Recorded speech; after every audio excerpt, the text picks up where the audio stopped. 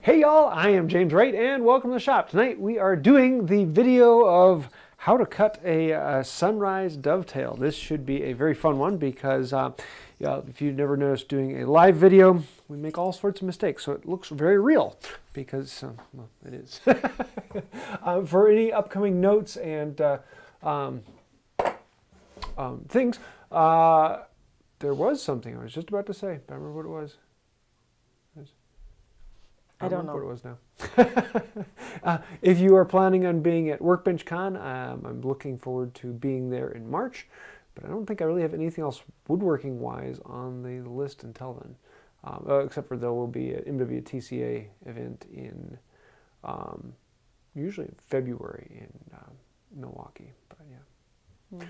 So um, sunrise dovetails. Um, it is a, a really cool funky way to do dovetails. And it looks like something that should be kind of impossible. How do you actually get this together when they both get larger towards the, the corner? Um, and they, they actually go together um, at a diagonal. And they take a bit, if they're done right, to wiggle apart. And you can see how they come together like that and they go in at 45 degrees. And theoretically, they slide back together. There we go. uh, they are not an easy joint. Uh, so if this is your first dovetail, I don't generally suggest jumping at this. Um, but if you get into doing dovetails and you've done a few of them, um, it's not that difficult. Uh, it's one of those things where you just have to understand where the problems are going to be and be ready to spend the time there. Uh, they will take longer than a regular dovetail, um, but they are a lot of fun and uh, they add a lot. And I'm actually doing a, uh, a drawer here uh, where I'll be putting these onto it. And I just like the look of them. They're, they're a way to spice it up, make it a little different. And uh, the nice thing about it is they're, they're a good show tail. Because the boards have to come, across, come apart at 45 degrees, they, they hold themselves together. So you don't have one board that can slide straight off of the other one. They have to slide at uh, um, angles, and so the whole drawer has to kind of come apart. And uh, yeah, so let's jump into this. and if anyone has questions, throw them in the chat, and we might get to them. Um, but this joint took me the practice joint I did today um, was about 45 minutes. And so for the live, we may or may not make it all the way through. So if we don't make it all the way through today, we'll finish up the rest next week. Um, but I think we can. So first thing we have to do is figure out how in the world we lay this out. And to do the layout, you can't just do it on the board. You have to start on another piece. And I actually like to grab another board with a jointed edge and use this as a way to draw out what we're actually doing on this. So I'm going to try and do a lot of the uh, up close shots here um, so you can see a little bit more about what's on the bench.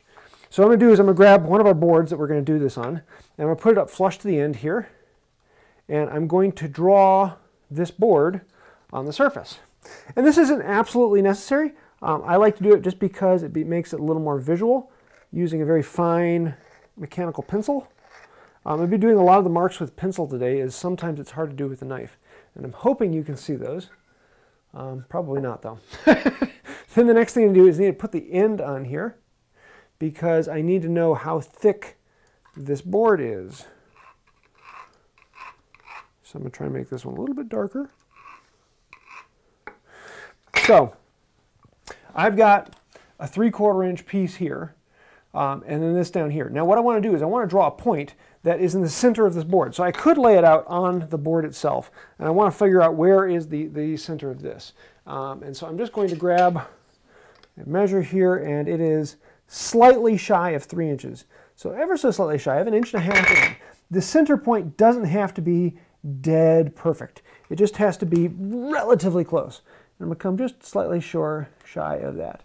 Um, if the center point is off, then um, you're not going to have, um, what am I looking for here? If the center point is off, then the tails will just be ever so slightly off center of reality. Keep breaking my lead. One of the problems with having a, oh no, I'm just out of lead. Oh, stink. I was practicing earlier and ran out of lead. Well, in that case. Here, can I throw something at you? No, I'll use a pen. Um, and I just have to remind myself where my marks will be. I should have just thrown it at you, not asked. Well, that, that's normal. You know, that's okay. And uh, these marks will probably be a little bit more visible. So, actually, let me go ahead and mark these out just a little bit more. And hopefully those will actually stand out to you guys on the camera. Because I've had a lot of people saying, I wish you would use a pen or a pencil so we could actually see it. Because usually I'm just going to use a knife and uh, I can see that fine, but uh, it doesn't always come across on camera. So there's the board. And I want to make a mark down, centered on the board, usually twice the thickness of the end of the board. So if this is 3 quarter inch, I want to make a mark down from there an inch and a half. So an inch and a half plus the 3 quarter inch is 2 and a quarter inches down. It doesn't have to be absolutely precise. It can be just about anything.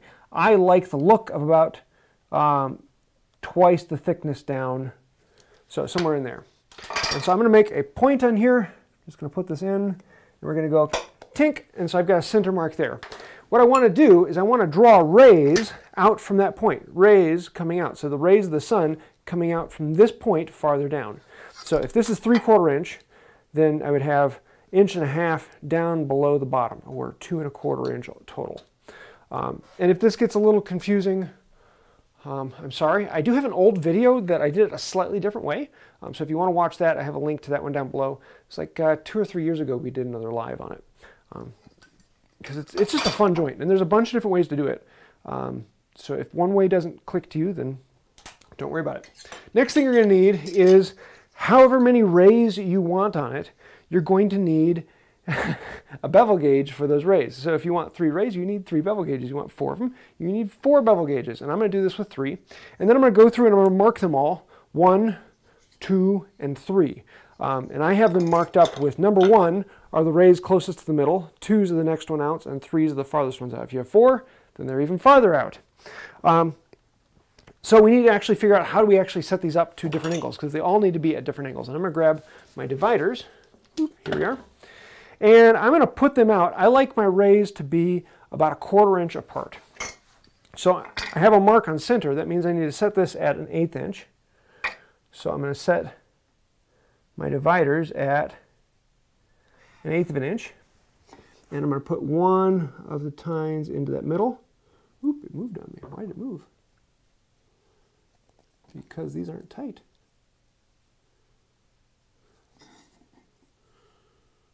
There we go. So I'm going to go eighth inch mark, Oop, a little deeper. And then I'm going to go off the other side, eighth inch in the other direction. And now I know that these are, let me see if I can show you this a little bit closer here. These are points, um, are a quarter inch wide, but they're each an eighth inch off of the middle. So I know point to point is a quarter inch. So now I'm going to take my dividers, I'm going to set them into those two points, which should be a quarter inch. I can take it over this to make sure, and sure enough it is. And then I'm going to put them on here, I'm going to walk them out. So that the first dot is my first point.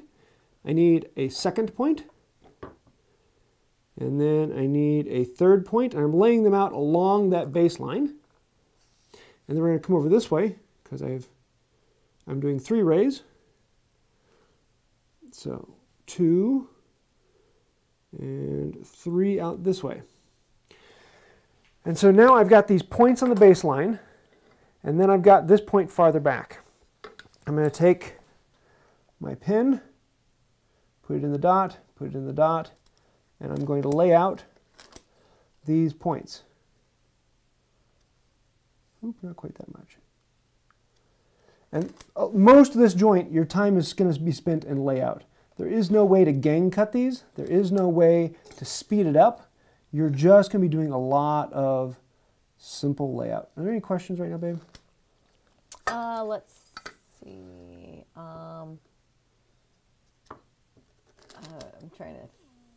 There's some that aren't necessarily project related, so I'm going to save those towards the end. Okay. Um, so we've got our can layout you here. do these on all four corners of a box? Yes. Yeah. Um, it's just rather than the two ends coming in to the pins, um, all four sides have to crush together. Um, so yes, you can do them, and it's just it's a little bit more tedious to put them around. Um, but yeah, you can put them on all sides. Um, and you can do, rather than just having one set in the middle, you can have a whole other set beside them and a whole other set beside that. So you can have sunrises side by side if the drawer is deeper. Um, looks really cool, but uh, we only have time to do one. So the first thing I'm going to do is I'm going to grab my bevel gauge number one, and I'm going to loosen it up. I'm going to bring it over here, and I'm going to set it on that first line. Very, very carefully, lock it down. Back this up so you can see this a little better. And now, this bevel gauge is set up number one. Now I want to make sure that the beam sticks out farther this way so I can use either end of it. So if I flip it over, um, I should be able to match up with the other line. And look at that, it does line up. Hey, happiness. Now you only have to ma map out one half, but it, it looks good to map out the whole thing so you can kind of see how it goes. Let's set up number two then. And we'll move the beam towards the middle so I have access to both sides of it. Put that on here.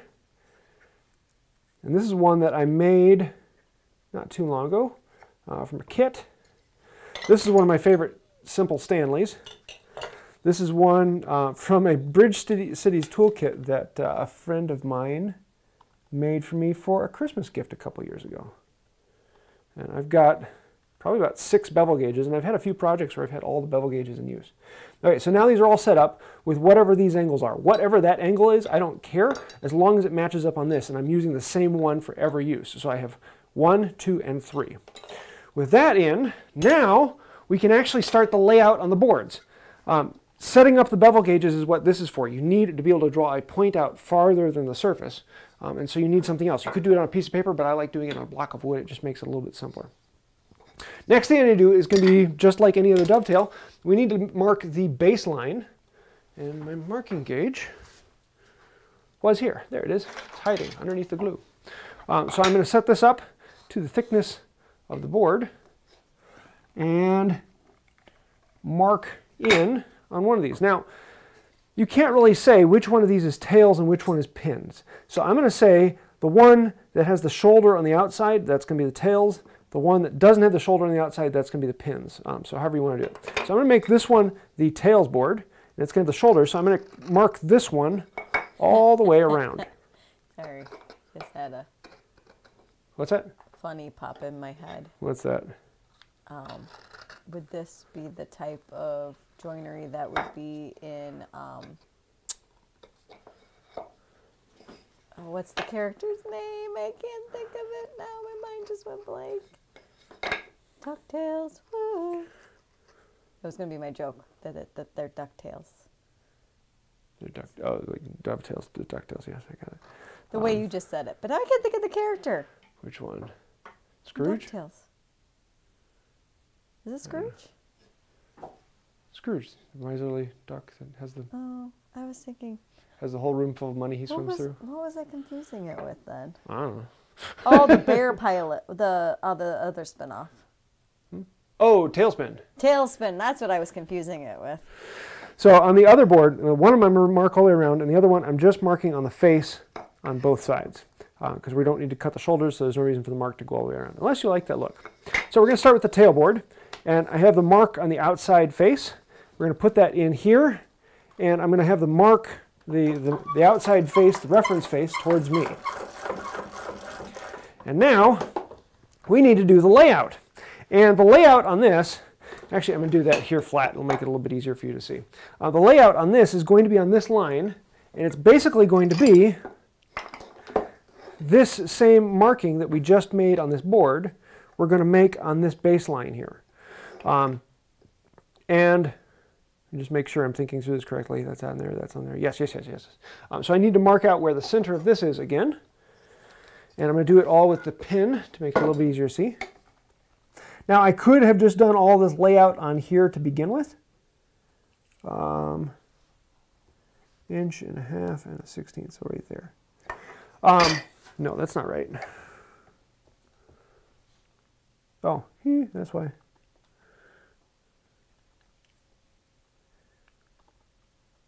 There's center.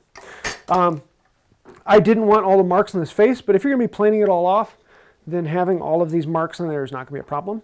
Um, but if you like to keep the face pristine, then leave the marks for something else. Now we're going to come in with this.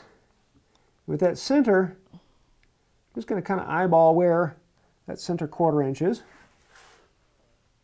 And then we're going to walk off quarter inch marks along that line. Two and three. Come back over here. Go in that hole. two, and three. So there's the base of all of our sunrises. Now we're going to come in here with this, and we're going to lay out all those lines we just created. So to put the pin in there, one up, flip it over. Actually, I'm just going to slide it over, use the other side. Put the pin in the mark. Down there. Now we're going to grab the two, and it's going to be a lot of the same. This over and over again. And then we're going to do it on the end as well. and this is where all of the time in this joint goes. It's just this layout, because you have to do this layout over and over and over again on all sides and with all boards. Uh, let me do this one first.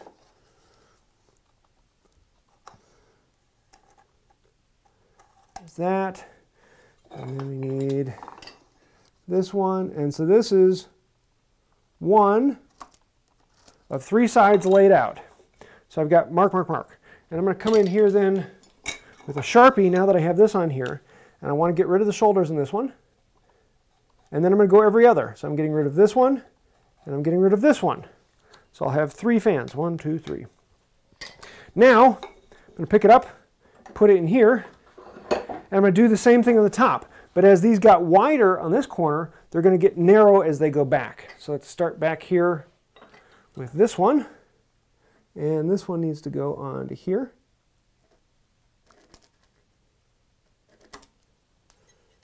And this one needs to go into here. That's one. Then let's grab two. Can I ask you a question? Yeah, yeah, yeah. Perfect time. So does this? This is just me asking a question related to the topic. Um, so you you said you needed as many bevel gauges as rays. So does it work with only two, or is a three minimum preferred? Um, two could work. It just doesn't look as good. Okay, so It's I- usually three or four. Sometimes people will stretch it to five, which looks really cool, but it's a lot of work. And also with five, you tend to have very small rays, and they go at really wide angles that make them a little harder.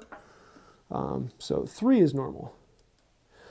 Okay, now I've got that marked. I'm going to then transfer X, line, line, X. Now, I could continue it around and do it on this side, and as they got smaller towards the back end here, they're going to get smaller again towards this side here. So I could continue around and do those marks. But I'm not. I'm going to trust my saw because I know that if I hit this line and this line, the backside is going to take care of itself. So I'm not going to even mark the backside on this. Any questions so far? not related to the topic at Okay. So, dovetail saw. Uh, this one, actually, let me get this up on here because this is kind of fun. Um, what I want to do is I'm going to cut one of these with it upright in the bench. And I find this to be exceptionally difficult. I'm going to start here in this corner. I want to go on the other side of it though. This side, really doesn't matter which side of the line I'm on because I'm going to make the other the pins match whatever the tails are. I'm going to go back along the line established on the top. And now I'm following at a weird angle. I'm just cutting the line I can see from corner to corner. Going very, very lightly. And now that it's established from corner to corner, I'm just going to cut, let the kerf guide the back of it. Make sure I touch that on the back. And that works. What I like to do is actually turn the, the blank so that the lines are mostly vertical. I mean, I could come in with a level and make sure they're perfectly vertical, um, but I find this a little bit easier because now my saw is running vertical.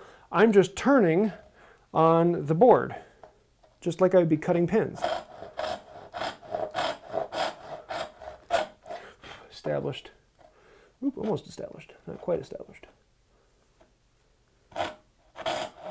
There, established on the top. And now we can cut down the line I can see. Oop. Getting a little off that line. Let's bring it back onto that line.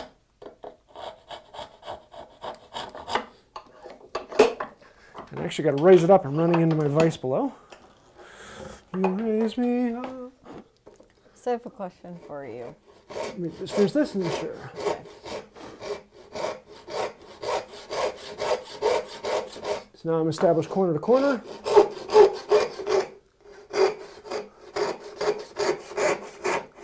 Down to the stop line. What you got? So I think I'm remembering this tip correctly, and I'm not sure that it applies to these particular dovetails. So when you're cutting, you know, you can see like the mirror reflection to see if it's that not on this not one. This is a compound Okay. angle. Not only is it cutting at a, a miter, but we're also turning at an angle. So it's actually a compound, two angles. So no mirror is going to, it'll just be a weird angle going off the other direction. But on regular dovetails, you could do that. Um, or no. regular dovetails, if you're on the pins and you turn the saw, you can see if the board is, is level and you can get an idea. If you're cutting perfectly straight across and cutting at 90 degrees, the mirror will tell you exactly where you need to be. With tails, it doesn't really help you much. Gotcha. And with this, no.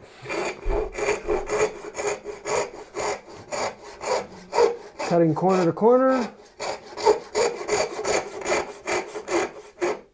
Down to the stop. So there's three of six on one board.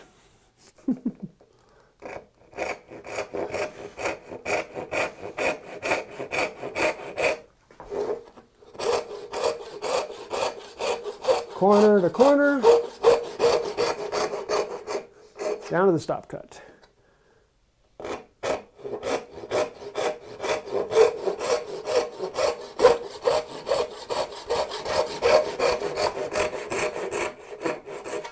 One more. And these last outside ones, as they get off into an extreme angle, kind of plays with your brain. And your brain thinks they should be a different way than they are. Trust the lines. Make sure you hit the lines. Get good at cutting to the line. Establish it right. And then let the saw do the work for you. Just like that. So now we need to cut these shoulders off. This is going to feel fairly similar, except I'm going to back it up and do it off of the end of the bench over here.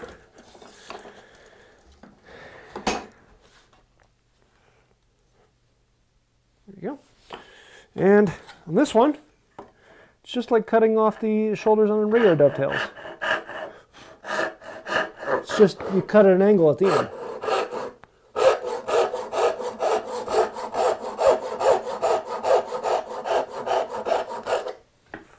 Make sure I'm back here.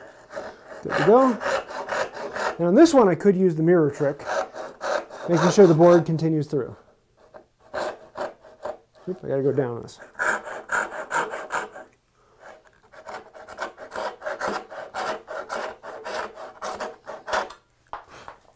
And before we go any farther, grab a chisel and clean out all that space. Now the nice thing about these is they get this huge shoulder, um, which is nice, but can be a bit of a pain because it's a lot of real estate to cover. So then we're gonna flip it around, do the same thing on the other end, except I'm gonna move it over to the other end of the vise so that I can, uh, actually here, I'm just going to rotate the board. I was gonna say. I'm used to just flipping from one end of the vise to the other. I find that easier than rotating the board. Um, right. but for video's sake, Do you want to it's be nice to be able to do thing? this one. What's that? Nope, you changed just as I was gonna ask.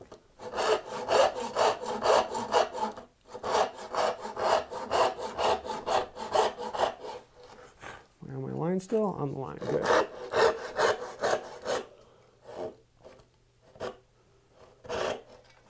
There go. And clean up that tight corner. Now, we need to clean out those two pieces in the middle. And it's a lot like taking out regular pins, um, but at angles. And everything about this is it's just like doing it regular, but at a weird angle. Um, so I'm going to get a sacrificial, sacri- sac- sacrificial piece of wood, a sacrificial piece of wood. It's like from Night at the Museum when they can't say Sacagawea. Sacrificial- and I'm grabbing my 1 8 inch chisel. Um, now, you're going to hear a lot of people say you don't need a 1 8 inch chisel. You don't need a 1 16th inch chisel. But there are a few things in the shop that can't be replaced with some other tool. An eighth inch chisel or a 16th inch chisel cannot be replaced with any other tool. When you need to get into a tight space, you need a tight space tool. And uh, yeah, so I mean, it's, it's one of those few tools that you can't replace it. You can't do it with anything other than a uh, chisel that fits into it. It was just there. So and now I it's down there. That's why. feeling that those chisels just went on several people's Christmas lists. And I'm going to start with this a little ways away from the line. And also at a weird angle because they all splay in toward the middle.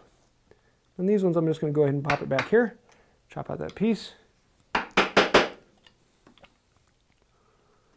so if you don't have a hold fast like that, is there? You just put it up against a wall or something to stop it. Just a planing stop will do fine.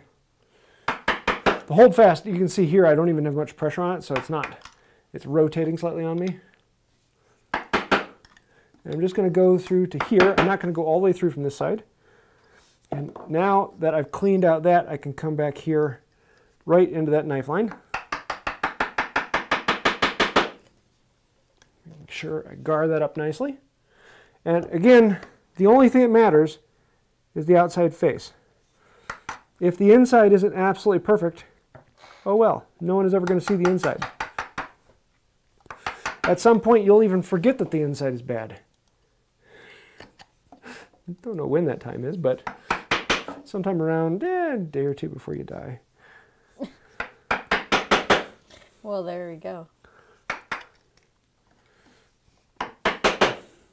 It's just a lot of rinse and repeat.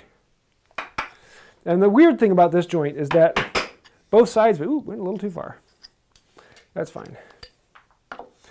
I always start with the outside face, the side that you can see. So if I do go a little bit too far, it's on the inside where you're not going to see it.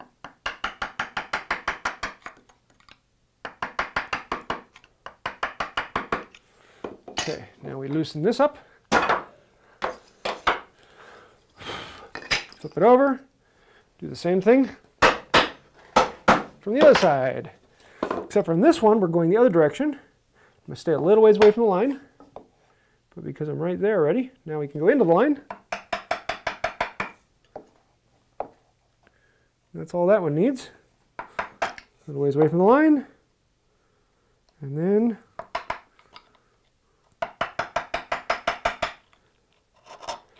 right into the line. Now I'm going to come back in here and just make sure I get rid of all the junk in here. And that is all we need for the pins. How are we doing in time? 28. Okay, we're good. I think we might actually get this all done today. Um, I'm going to grab a file in here and use that to come in. Make sure I actually can see what I'm doing. Back that up a little bit. I'm going to come into the file, smooth out those faces.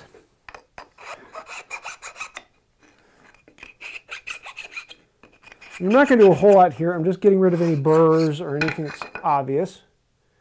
Anything that would preclude the actual joinery. Because I'd rather do the obvious stuff now than when I'm trying to figure out why won't this joint go together? Any questions right now? Uh, let's see. Dennis Meko asked, "Are there commercial jigs or patterns sold to make this joint?" no. This is one that's hand cut. If you see this, it's hand cut. I mean, okay. Theoretically, if you had the right jig, you could maybe do something very similar to this on a table saw. But you'd still have to come through and clean out the bottom if you want a flat shelf on the bottom. I, I honestly couldn't think of a way of doing this because of these being splayed out. Did I have that off centered? I did have that off center. How did I do that? I don't know. My tails are off center. Well, they're off center this way by about eighth of an inch. Oh well. this joint is all about layout, and if you rush the layout, then you're running into it. So now we need to transfer these marks over to here. And this is the point where you've got to wrap your brain around this. You've got to spend some time and, and think about what's happening to this. Now I'm going to show you what, what, what I think about when I, when I do this. Is I want these boards to go together this way. So in theory, this outside corner is going to be touching this outside corner. This corner of the shelf is going to be touching this corner of the shelf.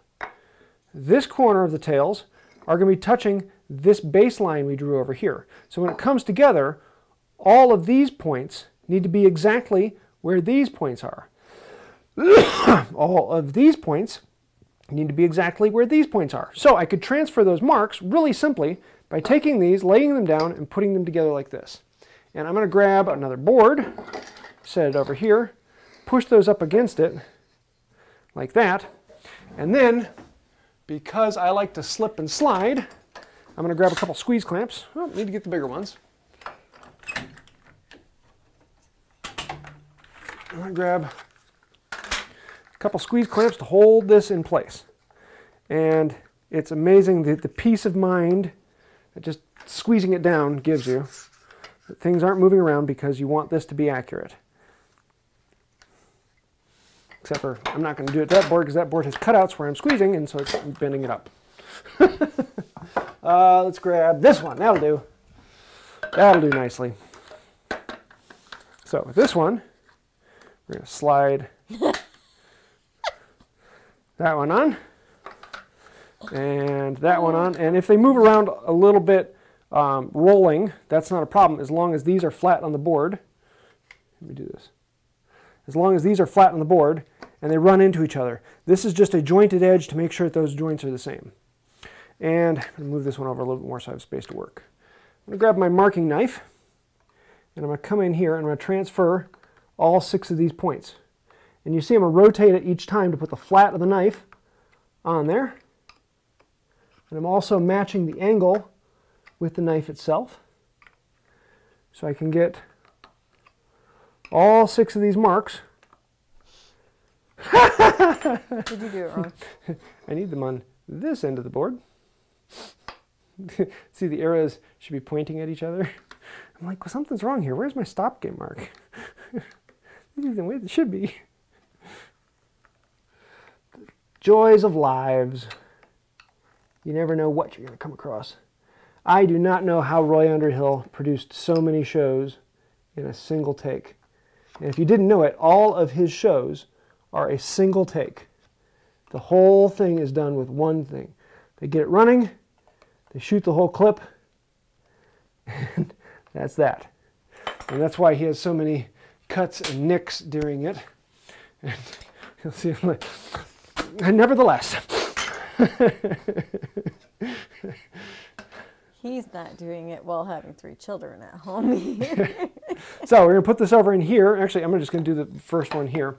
And we're going to grab those three bevel gauges that we had set up without knocking them out of joint. And we're going to grab number one first. And with those points, now I can grab my pen, flip this over, and I'm going to find those spots. They're over here, that's right. And then we can transfer these lines around and do exactly what we did before.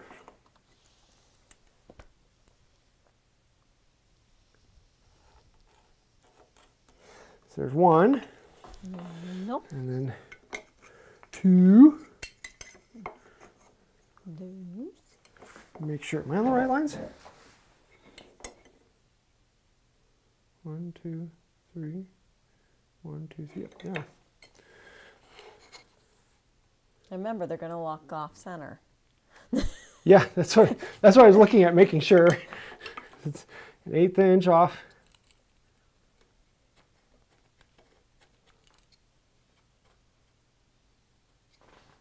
And then I need three. Where's three? Three's over there.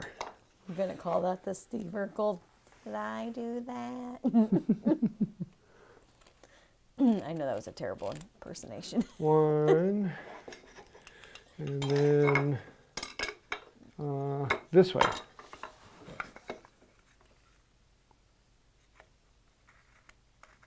Three. So we're going to put it in here. And then we're going to do those six marks all over again. This joint is all about the layout. It's where all the time goes, and if you're rushing the layout, you're going to have problems. And again, as they get bigger, that's not right. Is that really that far off center? Um, double check. It is that far off center.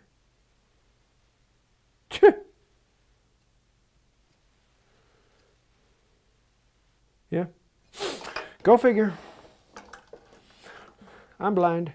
It's okay. We all make mistakes. So we put this in that mark, slide up against, line across the top, flip it over, do the same thing on the other side.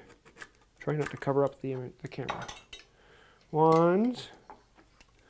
And any questions? Uh, let's see.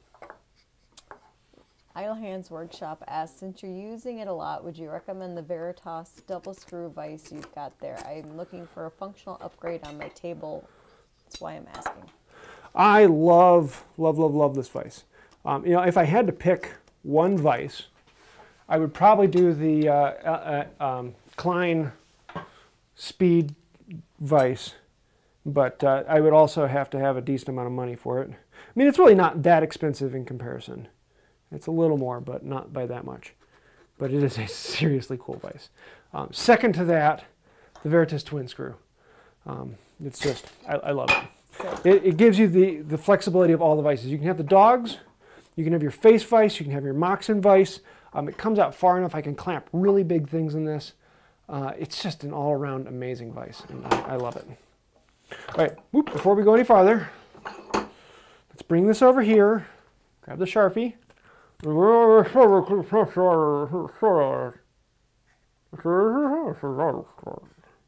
Okay, you know you're on the wide camera, right? Yes. And if you do that, all of your joints will be perfect. I love that. Maybe you didn't watch the short I did recently with the uh, uh, Roy Underhill joke with the, the sawing noise and the perfect joint. Um, I had so many people like, I couldn't hear you. You were sawing at the same time. That's the joke. so let's go back over to this. And let me get the camera in the way of my actual work. So I can make sure I do bad job here. And I want to stay on the mark side of the cut.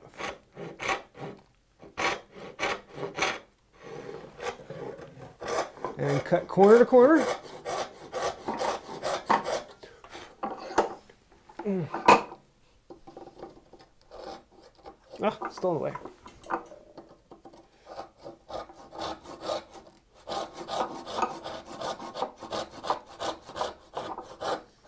Now, are you cutting the face or the back? All.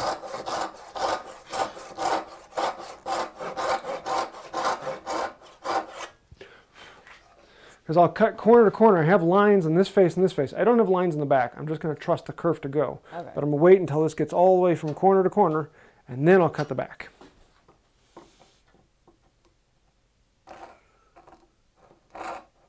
Just make sure you stay on the right side of the line.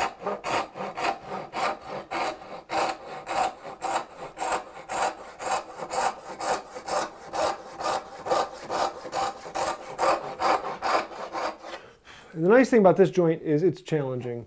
Um, even if you're, you're really good with a saw, this joint is one you still got to wrap your brain around. You still have to spend some time on it. And it's still never going to work perfectly off of the saw. You're going to have to do some fiddling with it. And so the nice thing is, you're going to see me do fiddling here in a little bit. And I am not very good with a violin, so. Oh, come on, that was funny. I wasn't listening to you. Oh, well, that's the reason.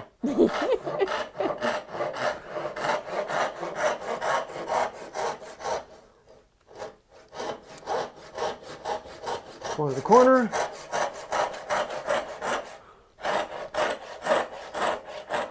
I want the corner to corner to be dead on. I want to hit that line. But in the back, my brain is thinking, I'm going to undercut it a little bit and take out a little bit more than I need because the back of it doesn't matter. If it's a little sloppy back there, the joint's still to work perfectly. If you get the lines on the front right, then it's to look good too.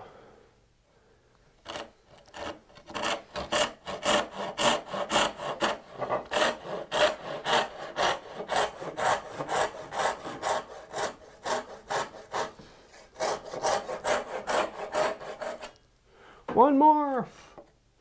Oop, wrong side of the line. Other side.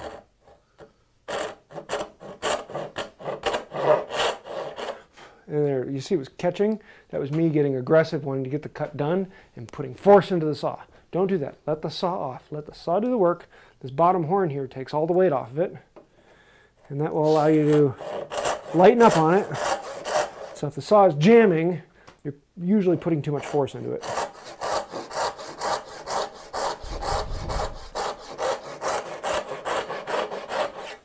Okay, now we can remove the waste in between and watch them slide in absolutely perfectly on the first try.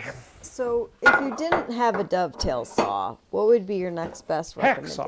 Hacksaw. Hacksaw. Yeah, um, surprisingly, a hacksaw is a really, relatively decent um, dovetail saw. Works really well. Um, I mean, the next closest thing would probably be a carcass saw. Um, those work relatively well. It's a cross-cut tooth, so that's a little different, but uh, still works. Let me set this up so you can actually see what's going on here. Focus. There we go. Look at that. It focuses. There we go. And I grab my mallet. And now we're going to stay away from the line again and go tappity tap tap. Any questions now? Um, Logan wanted to know what TPI is your dovetail saw. Um, mine, I think, is 16, 18. Um, I usually don't like going any smaller than 16 or 18. There, there just is not a benefit to that. Um, it becomes incredibly difficult to sharpen and just doesn't have the corresponding benefit. Um, so I'm not a fan of like 20 TPI or 24 TPI, um, or I've seen some that are 30 TPI. I'm like, no, that's not uh, not something I want to mess with. not something I ever want to sharpen. Yeah, let's do this one first.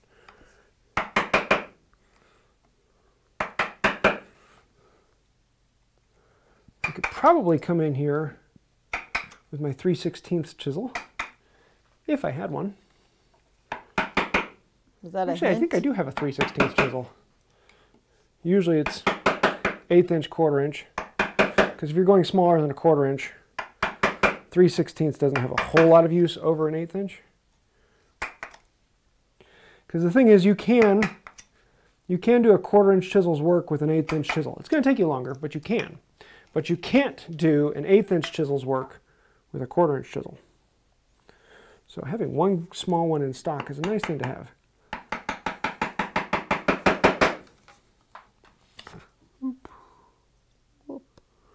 Got stuck. I think I tapped it a little too far. But again, I'm starting on the show face because if I blow out the other side, I would rather it be on the inside where people aren't going to see it than on the show face where people will see it. One more, then we flip it over. Got another question? Uh, let's see. C. Joe wants to know Do you have recommendations for files? For files, um, generally no. Um, most all of my files have come from estate sales and garage sales where you'll find a bucket of files for 15, 20 bucks. And I'll buy the bucket of them, I'll bring them home, and I'll throw away most of them or recycle them um, or give them to my blacksmith friends. And uh, then I'll keep the three or four that I want. And I find that to be the most cost effective way. Um, good files are expensive. Um, you can get good files, and for a lot of things, the cheap files work perfectly fine. You don't need to spend a crazy amount on those. Oop. Make sure I'm doing the right one. Going in at the correct angle. And the middle one, right? Yep, the middle one.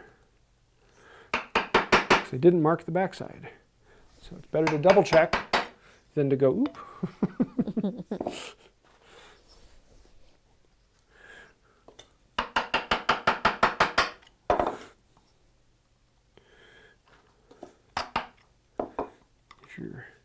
One thing you never want to hear a Midwestern doctor say, oop.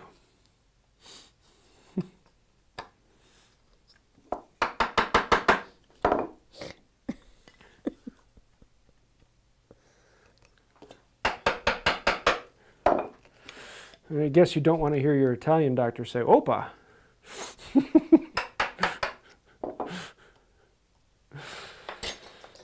Oh dear lord. Okay. That'd um, be Greek anyway. what's that? That'd be Greek. Greek, yeah, sorry.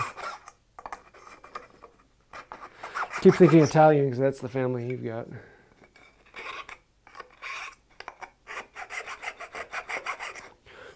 Getting rid of all of the little wisps and burrs inside, anything that's obvious. Put this in here and show you a little bit about that. And at this point, the joint is basically done, um, except for we have to get these together. And surprisingly, that's where a lot of this work goes. So I'm just going to hit all six faces of this. Get rid of anything that's sticking out on the inside.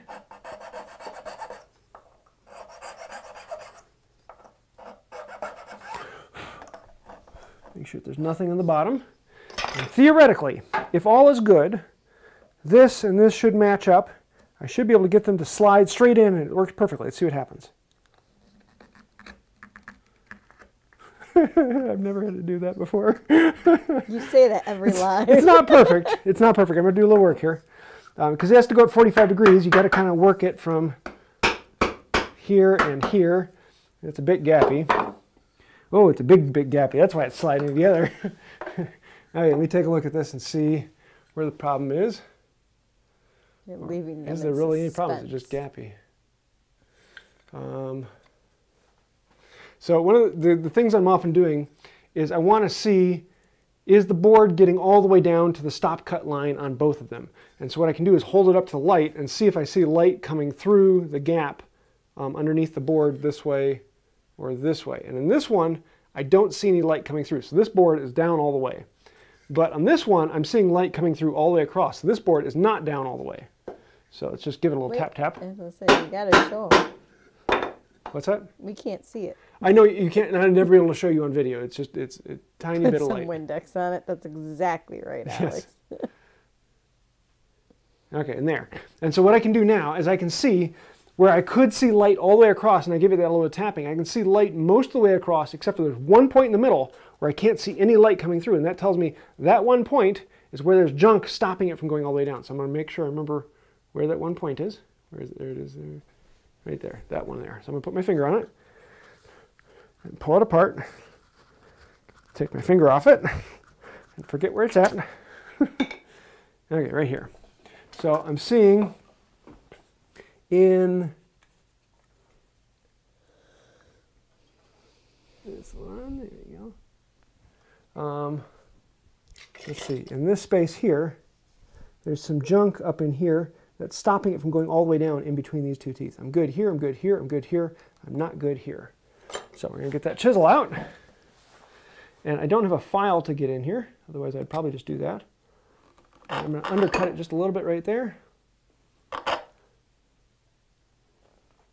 Am I on the cut line? Yeah, I'm on that line. Make sure I'm not touching the line, just getting rid of the shmoo on the inside. Let's try it again. And usually what you're going to find is that it goes together to about here and it just doesn't go any together any farther. And you really got to work on it. What I usually end up doing is coming in with the chisel and flattening out these faces a little bit more, hollowing out the middles a little bit, kind of dishing them out a little bit on the inside. And that shows you often where it's touching, where it's rubbing. So let's see how does this one.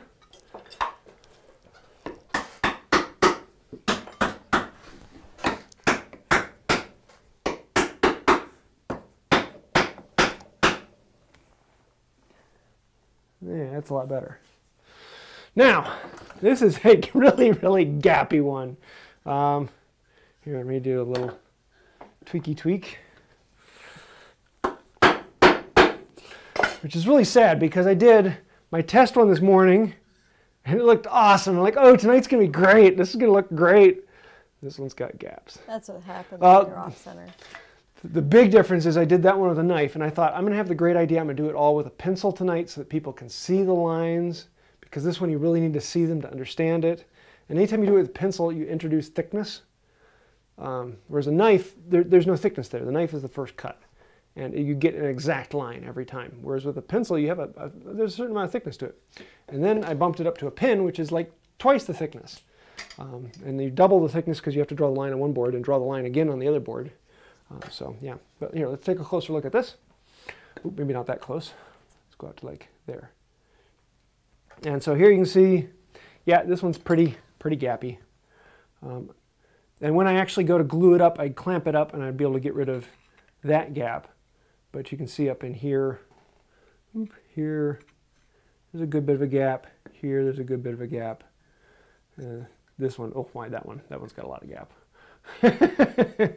so it's not terribly pretty, but it would be completely functional. I would, I would definitely use this on a drawer. Um, you could do the sawdust trick. Um, usually, the, uh, the, my favorite, if I have to do it, is to take um, a, one of the cutoffs from all of that and create a tiny little wedge out of it with a chisel. Here, let me show you that for a moment. And so I can take this, which is out of focus. There we go. And I'm going to come in here and I'm going to set this up. I'm going to give it a little tap tap. And I've created these tiny little wedges. And with these, I can then jam them in in here. And with the glue up, I'll come through after I've glued it up and I'll jam in all these wedges along there. And what that does is it actually creates the end grain to fill up. And it's hard to fill up with oak because you see so much of this grain structure from the medullary rays. But for something like maple, um, you can make these disappear by jamming wedges into that, uh, into that crack. Uh, it looks so much better than sawdust. Um, sawdust always makes it look like a gap you're trying to hide, uh, whereas these uh, sometimes just looks like maybe there's a problem with the wood. Um, Can you that's usually my way to fix it. Show your first one per their request. oh yeah, um, here. Oop, that one. So here's my one from earlier. Here. Whoa. Yeah, let's do that again. There we go. so there is the joint from this morning. And yeah, that one looks a lot better. Went past the, the saw marks a little bit here. Then this one, I have a little bit of a gap up in here, but uh, not much. That one's actually pretty nice and clean. And I like to leave my, my groove bottoms open like this.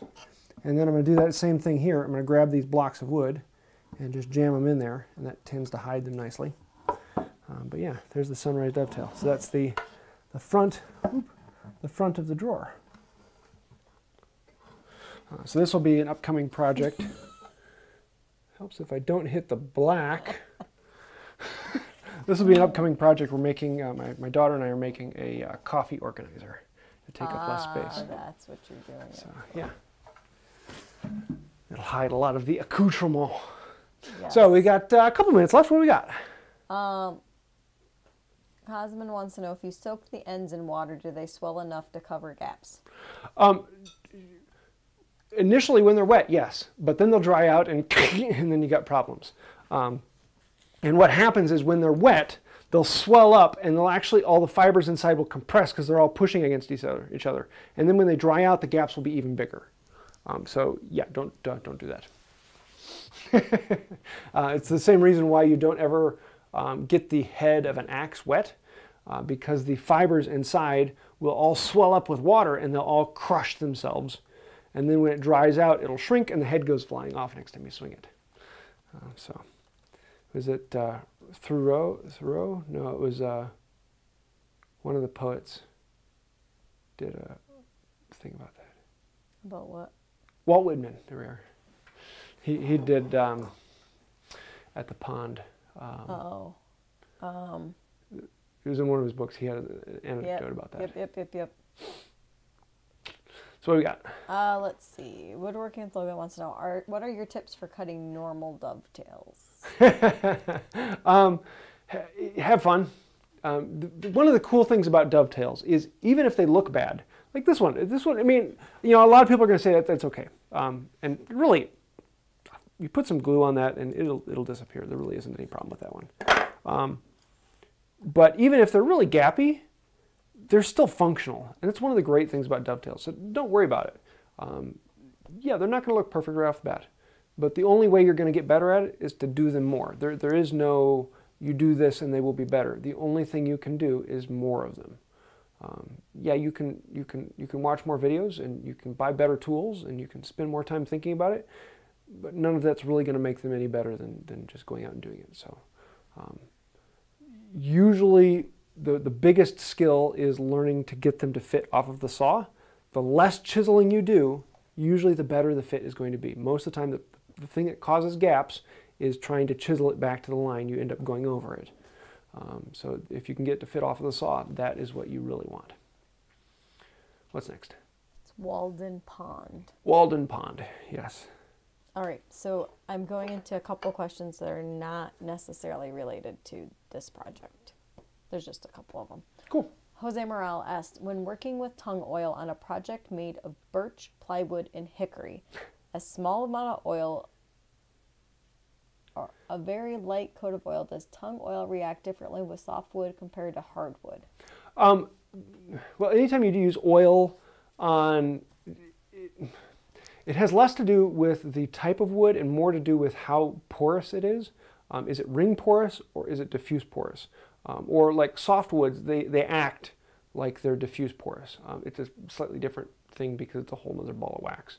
Um, but with things that are diffuse porous like birch, um, like maple, like pine, uh, well, pine is, is softwood, um, but they tend to get blotchy with oils, um, and so you, you need to be careful with that. Whereas with a lot of ring porous woods like oak and ash, you, you want that blotchiness because then that shows off the difference in the grain structure. Um, whereas with smoother surface woods, that blotchiness shows up as blotchy sections. It doesn't show up as separation of the grain structure. Um, and so for woods that are of a very smooth texture, you're probably going to want to do a pre-stain. Um, and that will actually clog all the pores completely. So when you put the oil on it, you'll get a much even um, absorption across the board. Um, and that's usually the biggest thing. Did I answer that question or did I go off on a different tangent? What was the question? Tung oil, does it react differently with softwood compared to hardwood? So yeah, not, not particularly softwood to hardwood, but as to the grain structure, that can be different. I'm not gonna lie, I kind of tuned you out. It's normal. I'm used to it. I was just waiting for you to stop talking to ask my next question. Well, what's the next question then? Sorry, I was distracted by Matt talking about roasting seven lambs because we got on my big Fat Greek wedding. yes. And I said, it's okay, make lamb. And then I, Her family doesn't roast lamb in the front yard. They, they do in the backyard. do I have glasses that match my hoodies? No, I just like blue and teal and Yeah. turquoise. She has glasses and hoodies that match her. They did get new glasses, so thanks for noticing. Um, anyways, Hopman asks, has James updated hand tool fi- find, finder in the last six months? Uh, yeah, I put I, I'm I'm regularly putting new things on the map and taking them off, and um, usually uh, once or twice a week, someone sends me something, or I find something different, um, or a company goes out of business, um, and so it's it's regularly getting updated. I think you just did a big update not that long. Well, I did the the lumber finder, Oh, that's what it was. lumberfinder.net, because lumberfinder.com is already taken, and woodfinder.com is similar but does it really poorly. I was afraid you were going to say something else. Anyways. Lumberfinder.net I, uh, that one I'm, I'm working on but there's it's like 600 some locations around the world for where to find lumber. Hmm. what's next? It's nine o'clock. That's what's next. ah well i think that will do it. Um, i'm not sure what next week's will be. Uh, the week after that we're actually going to have a guest on talking about sharpening. Um, he's a, a, a cool guy with some uh, very interesting background so i'll have fun with that. Here, in person. No, it'll be a, a, a zoom in. Uh, I was like, He's out on the East Coast. that would be a long drive. Yes. so, um, yeah, I think I'll do it for now. Until next time, have a wonderful day. Bye. Bye.